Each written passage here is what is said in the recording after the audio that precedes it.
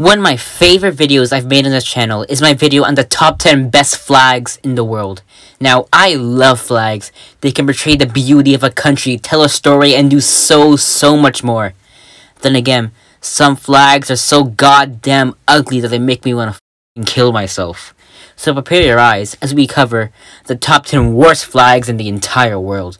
By the way, this list is 100% accurate, and if you disagree with this list, you have zero taste in everything, and without further ado, let's go. At number 10, we have the flag of the Federated States of Micronesia. First of all, this country has a name longer than my Wi-Fi password, which already makes me despise its entire nation. Second, just look at their flag. The blue and the white just don't fit together and it looks so bad. But what infuriates me the most are the stars. They are organized in such a disgusting way that makes me want to throw up, especially the star at the bottom. Tell me, who thought it was a good idea to, put an upside down star on a flag? Just, just, just why? The reason why it's only number 10 is because the symbolism behind the flag is actually kind of cool. Each star represents the amount of states in the country. Wait, wait, wait, wait, wait, hold on a second. That sounds really familiar, doesn't it? Coming in at number 9 is the flag of Belarus. Ah, Belarus, the country that, simply put, is Russia's annoying little child, while Russia is its abusive and overprotective stepdad. In fact, the name Belarus literally translates to White Russia. But enough with this bullshit, you guys just, want to see me roast the hell out of its flag. I mean, just look at this abomination. Like, what is that, a cloth on your flag? Like, come on. Wait, are you serious? It's actually a cloth? Aren't flags meant to represent and symbolize a country? If the best thing about your country is a cloth, your country must be like really sad. If you look closely, the cloth doesn't even go to the end of the flag, which is just pure laziness. Another thing that grinds my gears is that the colors of the flag don't even have official meaning. Like, what's the point of a flag if it doesn't represent anything? Although, I should admit, according to the president, it does have some unofficial meaning. Red represents freedom and the sacrifice of the nation's forefathers, while green represents life. And I know what you're thinking. What about the white? Well, that represents jack shit. Oh my god. And number 8, we have the flag of Vietnam. Well, it's only been two and a half minutes, and I've already upset 97 million people. And you know what? I don't give a I don't care if you have a thousand people, or a million people, or 97 million people. If your flag sucks ass, then it sucks ass. I mean, just look at the flag of Vietnam. It's literally just a yellow star on a plain red background. Where is the artistry? Where is the complexity? If your flag can be drawn by a blind, dyslexic six-year-old, then it's not a good flag. Wait, how is this only number 8? How could there be any flags worse than this one? At number 7, we have the flag of the Mauritius. No, no, no, I can't stand for this. Stop the music. What is this shit? Mauritius, you have got to be kidding me. Your country is literally amazing. Why did you have to ruin it with your hideous ass flag? Like, what is this? Why does it have four lines? What's the point? Like, it looks like this flag was designed by a toddler who didn't know how to count to three. Actually, no. It looks like if a toddler saw the flag of Armenia and decided to ruin it with an extra green stripe. And the stripes just represent random ass things, like freedom, the ocean, the sun, the grass. Literal grass! I swear, if I see another four striped flag in my life, I am literally going to die. Oh, come on! At number 6, we have the flag of the Central African Republic. Now, the Central African Republic is probably one of the worst countries in the entire world. And this is coming from an Indian, the country where cows have more rights than literal people. This country has the lowest GDP, is the poorest, is in a dictatorship, is in a civil war, is the unhealthiest country, the most dangerous country in the entire world, and above all, has a flag that can cause literal eye cancer. It's just. I have no words. Like, there is so much going on. Why the five lines? What is with the red stripe? And what the fuck is the point about this star?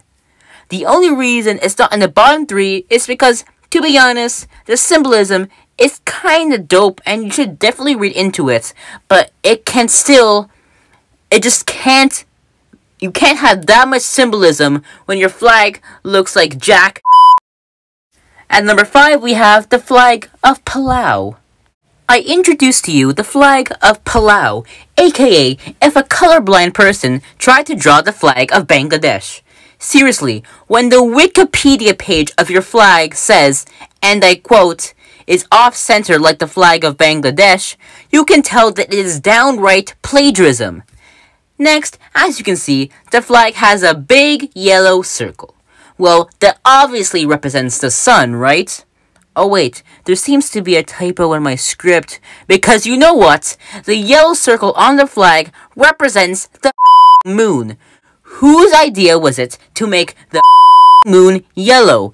And why is the background blue? Shouldn't it be black like what the And also, the flag is racist.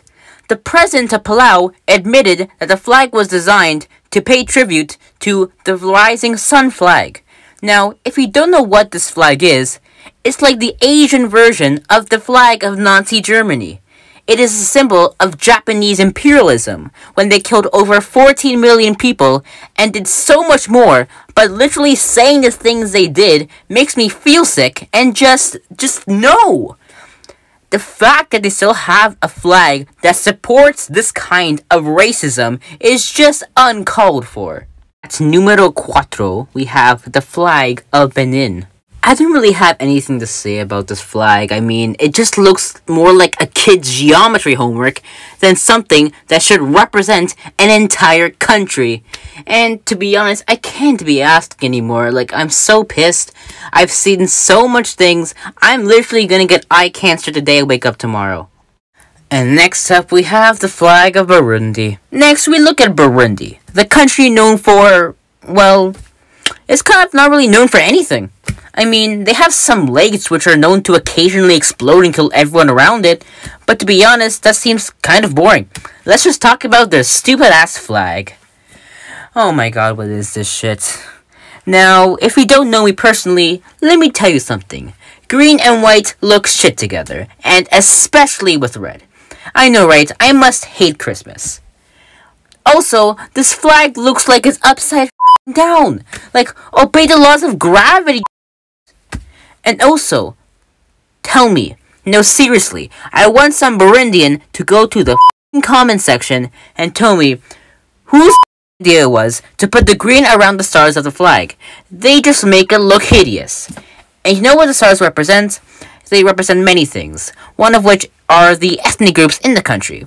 Which, to be honest, I don't mind. I like how it resembles who made the country what it is today. But what annoys me is that one of these stars represent 1% of the population. Why isn't there just two stars? No, seriously, Burundi, why did you just have to add a star to appease 1% of the population?